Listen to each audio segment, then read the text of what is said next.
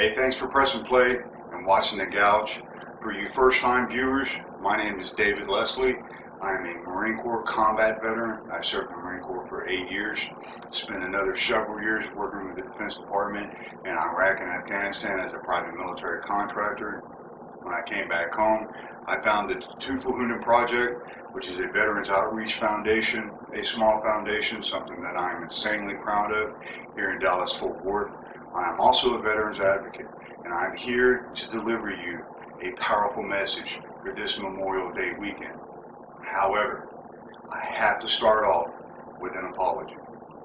To my brothers and sisters in the Corps, I know I represent y'all as a Marine Corps veteran. Though I'm a, though I may lose my tack and I though I may lose my bearing in this message, I apologize because I know I represent more than just myself. To my Blackheart brothers, I apologize. However, those that y'all, those that have served with me, understand exactly how I am when I lose my patience, because this is one pissed off Marine, one pissed off veterans advocate who is absolutely angry, not just at the media and what they're not telling you, the American public, but also the treatment that is going on to our beloved veteran community and the treatment that is going to happen to our men and women who are serving now, who are about to come into our growing veteran family. The media is not telling you the entire story. When the scandal broke in Phoenix, Arizona with Sharon Helman, 40 veterans died on fake waiting list. 40. You know what else is tragic? At that same time, over a thousand veterans nationwide committed suicide because of complications with PTSD or complications with whatever that they had when they came home from combat. When they came home to a nation that they served and sacrificed for. Over a thousand. Nobody is telling you that. At the same time, they ain't even touching the tip of the iceberg of what is being done to our veterans. Sharon Helman, who is the director of the Phoenix VA, when this scandal broke because she was putting out a fake waiting list, she was also the director of the VA Medical Center in Spokane, Washington, who received bonuses because she had lied about veteran suicides. She lied to ensure that her performance looked stellar she had 22 veteran suicides in less than two years that she was the director of the VA Medical Center in Spokane, Washington. 22. She reported to the top brass only nine and received a bonus for her performance. She lied and stole taxpayer money. That is something that the mainstream media isn't telling you. She was caught. She was caught by the top brass in VA instead of being put on leave, instead of being fired, instead of being held accountable. She was transferred from Spokane, Washington to Phoenix, Arizona, where she continued her crooked, lying ass ways and created fake waiting lists that ended the lives of 40 veterans. 40. But there is something else that they're not telling you. This scandal runs even deeper. Even deeper. And it is absolutely fucking atrocious. I understand that my brothers and sisters, that the veteran community want to remain tactful and honorable. But it is absolutely important that you know the entire picture because they're not telling you. The crooked ass politicians up there in DC knew knew and they didn't do anything. This is everything that they knew. And I am more than likely not even scratching the surface. I have been saying this, I have been posting it, I have been putting it out online for months, months. And not one single reporter, not one person, not from the local news, not from the national news, has even shedded light what this what the treatment is, or I should say, the criminal neglect that is happening to our veteran community, to our beloved brothers and sisters who openly gave up and sacrificed and served not only our federal government that has turned their back on us, but the American people. So during this Memorial Day weekend, I challenge you to share this message. Blast this message all over social media before the media and this administration comes up with another excuse on how they didn't know, because they did. From 2005 to 2008, the Dayton VA Medical Center, you're going to hear this medical center quite a bit. From 2005 to 2008, the Dayton VA Medical Center paid out $940,000 to families because of medical malpractice, which led to the death of eight veterans. Eight. From 2009 to 2010, this same medical center, the Dayton VA Medical Center, had a total of 72 medical malpractice claims filed against them. Within that same year, you can add two more to that list because two more veterans died because of their mismanagement, because of their malpractice at the D, at the Dayton VA Medical Center from 2006 to 2009, and this was reported in the Military Times. The Military Times wrote an article as of December 6, 2013, about this topic. They reported it it is in black and white. It was blasted and nobody paid attention. From 2006 to 2009, 101 adverse searchable events occurred.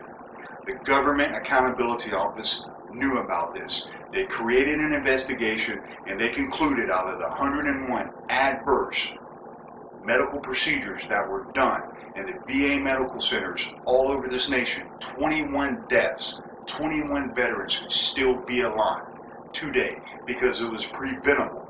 It was preventable. The Government Accountability Office was quoted saying, the Veterans Health Administration cannot provide reasonable assurance that medical centers are using peer reviews as intended the reason why there was 101 adverse medical procedures is because the VA was not following its own policies when it comes to peer reviews, when a doctor provides a review of another doctor. The Military Times reported that the, VA, that the VA department fails to follow its own policies on monitoring subpar doctors at four facilities. One of them is here in Dallas, Texas. The other is in Nashville, Tennessee, Seattle, Washington, and Augustus, Maine. They were not following their own procedures, which led to the death of many, many veterans. And nobody's telling you about it. From 2007 to 2012, the VA Medical Center in Atlanta, Georgia, whose VA medical director was James Clark,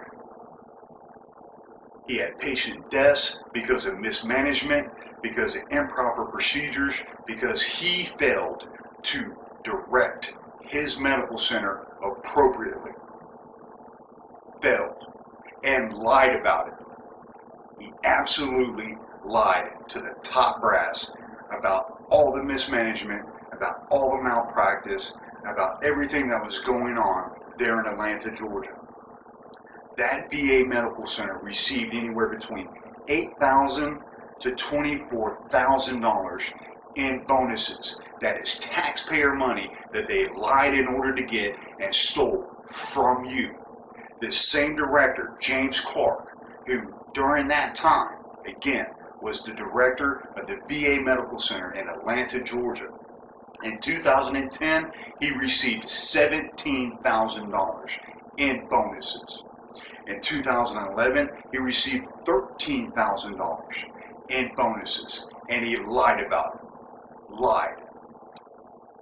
From 2008 to 2013, a whistleblower, Oliver Mitchell, who worked at the VA Medical Center in Los Angeles, not only did he file a formal complaint to the Inspector General, he had audio from his supervisors instructing him to purge, to delete backlog medical appointments and backlogged medical exams. Request for veterans to receive medical exams. He was told by his supervisors to delete them. The inspector general knew about it and he didn't run an investigation at all. The only thing that he did was send that complaint back down to Los Angeles and told them exactly who complained and what he was complaining about. That was a whistleblower who was completely thrown to the wolves. In 2008 is when it was reported to the news there in Los Angeles and was handed over this audio that the whistleblower was instructed to delete all this stuff. All of it. And they didn't do anything. Nothing. March 20th of 2008, Norma Perez, who was hired by the VA to be a PTSD program coordinator and a PTSD psychologist, put out an email to everybody in her medical center the here in Tyler, Texas. She was quoted saying, I'd like to suggest that you refrain from giving a diagnosis of PTSD to our veterans straight out. This means that veterans will not get the disability benefits and health care for PTSD. She went on to say that we really do not have the time to do extensive testing that should be done to determine PTSD for our veterans. This is a PTSD program coordinator. This is a PTSD psychologist who was hired by the VA to help our veterans who told everybody not to help. Again, quoted, we do not have the time to do the extensive testing that is needed to determine PTSD for our veterans. I wear this ring to sit there and show everybody that I come into contact with that 22 veterans on average commit suicide daily because of PTSD. And a VA psychologist told her people to not die to do not diagnose veterans with PTSD, knowing that they wouldn't get the health care they needed. May 2009, Eric Shinseki urged a Democratic congressman from North Carolina, his name was Brad Miller, to reverse his decision and put back into circulation a whistleblower, a Dr. Ann Chackol, C H A C K O L. She was a whistleblower. She went to her congressman because of in intimidation practices, because of bullying, because of harassment from her supervisor, a Dr. Mona Mel or Mona Melham, M-E-L-H-A-M. Congress did an investigation for this whistleblower. They did an investigation. The subcommittee concluded that this doctor, Mona Melham, M-E-L-H-A-M, deleted, destroyed 30 years of research. And Eric Shinseki told Brad Miller, a congressman, to put this whistleblower back into circulation, to put her back under the same supervisor she was reporting. You know what happened after Congress concluded their investigation? Do you understand what Legionnaire's disease is? Legionella, that staff mishandled Legionella, which infected the water supply at that VA medical center. And it contributed to five veterans dying, losing their lives.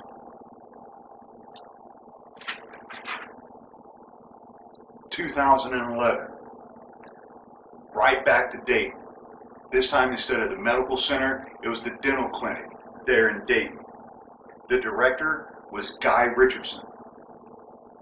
he was the director of that dental clinic. This clinic had some of the most atrocious poor medical practices known to man. You want to talk about mistreatment? You want to talk about completely disregarding the lives of the men and women that sacrificed everything for this nation? Because of their mismanagement, because of their poor medical practices at this dental clinic in Dayton at the VA Medical Center, hundreds of veterans tested positive for hepatitis B, hepatitis C, and HIV because of blood-borne pathogens. Because they didn't give a fuck. From 2013 to 2014, Congress put a bill on the floor that simply stated VA disability claims are to be approved or denied within 125 days after that veteran submits his claim to the VA with an accuracy rating of 98%. You want to know why they put this bill on the floor? Because the Congress concluded that it not only took three years, three years for a veteran to get his claim back from the VA because of service disabilities that he got, he or she got while they were on active duty is because when it came back for the first time, it was denied. And I'm I, and I am one of them. I'm supposed to have hearing aids. The VA refuses to pay for it or acknowledge the fact that I have hearing loss because of my eight years of service. And I am one of hundreds of thousands of veterans that have their claims denied. Not only do I have proof in the VA, but I got proof in the private sector. And there are thousands of veterans just like me that have done the exact same thing. Guess where that bill has gone? It's gone nowhere.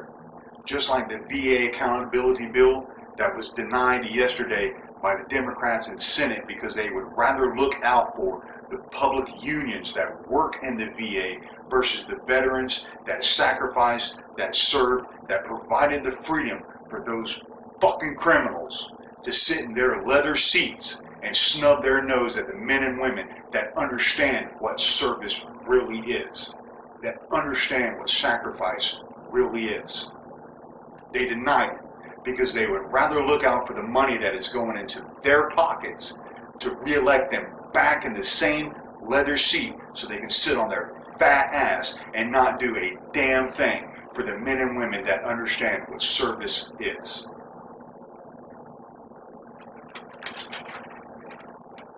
Two thousand and thirteen, Eric Shinseki. You're going to hear his name a lot. This guy is more more riddled with scandals than the President of the United States, and he still has his job. 2013, Eric Shinseki allowed bonuses, knowing, knowing that there was health care scandals, knowing that there was financial mismanagement, there was mismanagement of taxpayer funds, still allowed bonuses to be handed out to these lying sacks of shit. In Pittsburgh, Atlanta, Waco, Dayton, Dallas, and Buffalo.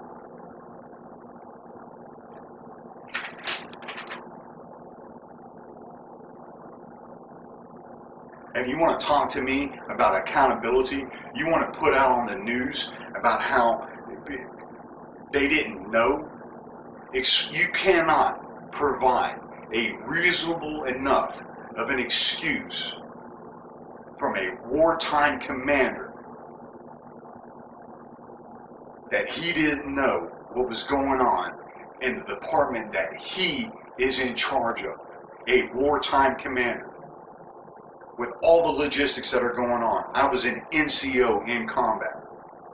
I understood my responsibilities to my men as a non commissioned officer, and I understood how much work was put in. You cannot sit there and tell me, you cannot provide a reasonable enough excuse on how a wartime commander, with everything that's going on, with all the moving parts on the battlefield that are happening from second to second to second with all the men underneath him. You cannot give me an excuse, a reasonable enough excuse, how he didn't know. Especially in 2012. This is an email that was sent to the Honorable Eric Shinseki by Jeff Miller, who is a chairman, and by a board member, Bob Filner, wanting Eric Shinseki to explain himself why over a hundred million dollars has been used improperly for conferences that the VA had. $6.1 million was used for a conference at Walt Disney World and their spa resort. There isn't one corporation here in the private sector that would waste that much money. In 2010, the VA wasted $20 million in conferences. In 2011, they blew $22 million in conferences. Conferences. It's in black and white. Here it is. And you're going to talk to me, you're going to put out on the news about him needing to resign. This is willful criminal neglect. This is people that have willfully lied, that have destroyed the lives of thousands of veterans, thousands of families, thousands of men and women that have openly sacrificed, that picked up a rifle, loaded a magazine, and defended freedom abroad. They willfully turned their back. These self serving motherfuckers allowed our veterans to die. They lied about it. They stole taxpayer money because how else are you going to explain that? How else are you going to explain them lying in order to receive performance bonuses? They lied to ensure that their performance was in part for them to receive thousands of dollars in bonuses, thousands of taxpayer dollars. And the director of the VA allowed it, he knew about it. Written proof that he knew. He knew. People in Congress knew. And they didn't do anything. This administration knew. And they didn't do anything. The President of the United States is going to sit here and say that he is absolutely confident in the abilities of Eric Shinseki. Bullshit. Eric Shinseki is a fucking meat puppet. Who is doing exactly what the president wants, which is allowing the men and women that gave their lives for this nation to die. And you want to talk to me about accountability, you want to put out on the local news and the national news about accountability and about resignations, how about you start putting out, how about you start asking the question, who's going to prison? Because if this was a corporation, if this was a CEO, if this was a CFO of a major corporation, they wouldn't be just put in prison, they would be buried underneath it. And the self serving bureaucracy that allowed our men and women, my beloved veteran family, to die so they can receive money, so they can fill their own pockets, allowed it to happen. Got Democrats in the Senate that would rather pay tribute to their unions who are putting money into their reelection campaigns versus serving the men and women that gave them the freedom for them to sit on their fat asses. I got trees outside my home that produce thousands of gallons of oxygen every year that they need to go apologize to. And you're not reporting it. The American people are not seeing what is willfully happening to our veterans. Here's the bigger picture. You want to maintain a volunteer military force? the future of our military and the safety of this nation, the national security of this nation, is held up by the treatment of veterans. For future generations to willfully enlist into the military, they're going to gauge their future based off the treatment of past veterans. When they see the treatment like this happening to veterans on a daily basis, they're not going to enlist. We are going to lose our volunteer military force because of the willful neglect of the director of the VA and his subordinates who would rather lie and steal taxpayer money by the willful criminal neglect of this administration that would rather have veterans die.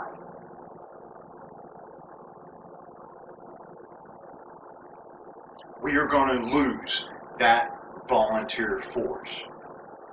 You cannot sit there and tell me that this was an accident. You cannot provide enough of an excuse to tell me that they didn't know. You cannot tell me that a wartime commander knew. He's an oxygen thief and he should go to prison. And every single person who knew about this and didn't do anything should go to prison. This is criminal neglect. This is willful neglect. Because of their willful neglect, more veterans have died than those lives lost in the war in Iraq. More. As I've stated in the very beginning of this message, from the time the news broke in Phoenix, Arizona, to this very day, over a thousand veterans have committed suicide. And where's the media crying out for them? You want to talk to me about reform? Where's the DOJ pushing criminal investigations on these lying, oxygen thieving sacks of shit that are self serving in our federal government? They would rather steal your taxpayer money. If they do this to us, if they willfully do this kind of criminal neglect to us, the veteran community? What makes you think, as a voter, they care about you? These people are self serving. All they care about is themselves. That's it. They've proven it. Don't listen to what they say, watch what they do. You cannot sit there and tell me that he did not know this came to him. Is the media reporting it? No. They're not. I challenge you during this Memorial Day weekend to spread this video, to share it every aspect of social media that you could possibly imagine, and challenge your family and your friends to deliver this message worldwide before Tuesday morning when the White House and General Shinseki come up with another excuse on why hundreds of thousands of veterans were left to die from a department that is supposed to take care of them. I challenge you. Memorial Day weekend is about remembering the ones who gave up their lives for our freedom. These people aren't Americans. They're nowhere close to being Americans. They have created a career based off of lies. And it's a crying shame how back in 1907 Theodore Roosevelt warned us of this. A citizen who a citizen who sits there and claims to be American but claims to be something else isn't an American at all. Those are Theodore Roosevelt's own words. He sat there and said, In this nation, we have room but for one flag, and that is the American flag. In this nation, we have room for but what one language, and that is the English language. And in this nation, we have room for but what? One loyalty. And that is the loyalty to the American people. He warned us. And now look at what we have.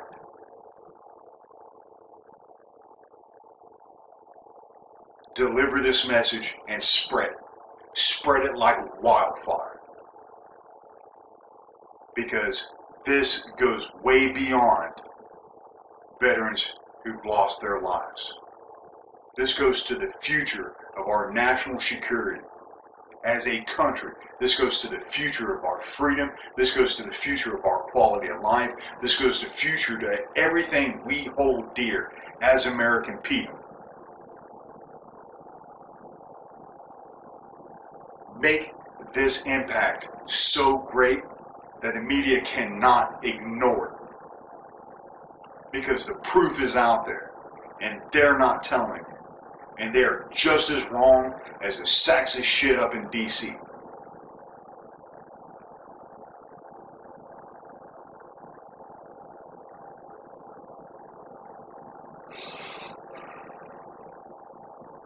Thanks for pressing play and watching the gouge.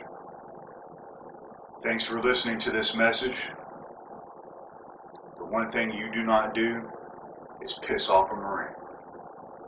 Follow me on Facebook at david.mleslie and take a look at everything that my Veterans Outreach Foundation is doing for our local veterans here in Dallas Fort Worth. Because it's not the VA that's helping, it's the private sector.